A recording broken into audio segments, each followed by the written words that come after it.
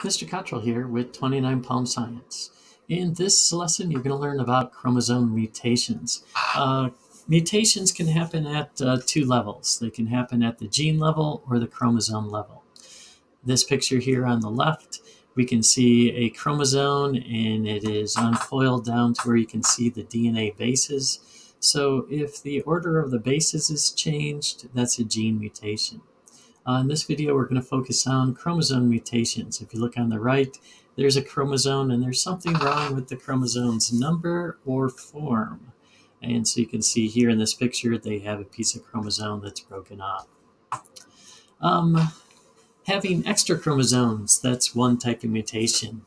If we see here, humans, they have 23 pairs of chromosomes. If we look at the sex chromosomes on this one, the very last set, you can see there's two X's and one Y. Uh, there should either be either two X's or just an X and a Y. Um, Down syndrome is another common uh, mutation where there's three chromosomes, and this is chromosome number 21. You can see that in this picture.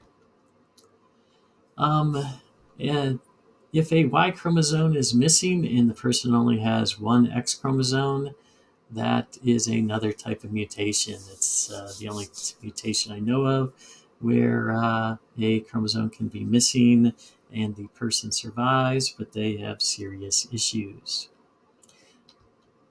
Um, gene mutations are represented in the models on top, and you can see that the order of the letters or the orders of the bases are changed. Down on the bottom, chromosome mutations you can see the form of these characters has been changed in somehow. And so we're going to look at those um, mutations in the form of the chromosome. Uh, duplication, that's where a stretch, stretch of DNA is copied twice. A deletion mutation is where a stretch of the chromosome is not copied. An inversion mutation, that's where a section of chromosome is flipped over or reversed. A translocation, say you had two chromosomes and the pieces somehow switched.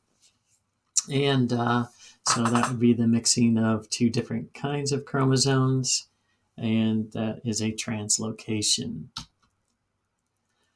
Um, there, let's see. So anyway, there's the mutation type that is in the form, and there's also a mutation type is in the number.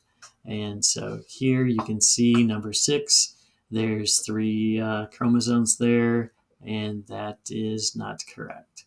Um, here we can see the sex chromosomes. There's two options, an X and a Y, or two X's for male and female. And we'll stop the uh, video here. So thanks for learning about uh, chromosome mutations.